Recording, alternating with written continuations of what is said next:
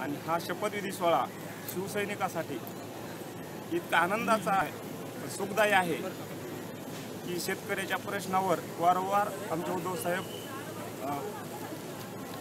झगडत राहिले. आणि त्याचा फायदा आज सर्व शेतकरी बांधवांना नक्कीच होणार आहे हे आशा मी बाळगतो. कारण कर्जमाफीचा मुद्दा आहे शेतकऱ्याचा लाइट बिलाचा आहे विमा कंपन्या विमा वेगळे वेगळे निकष लावत आहेत सध्या.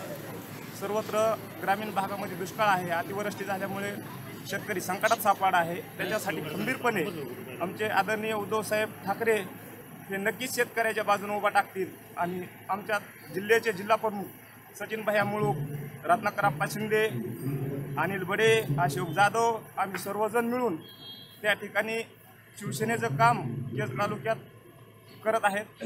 आणि नक्कीच याचा फायदा शेतकरी बांधवांना होणार आहे. एवढं बोलतो. जय हिंद जय महाराष्ट्र.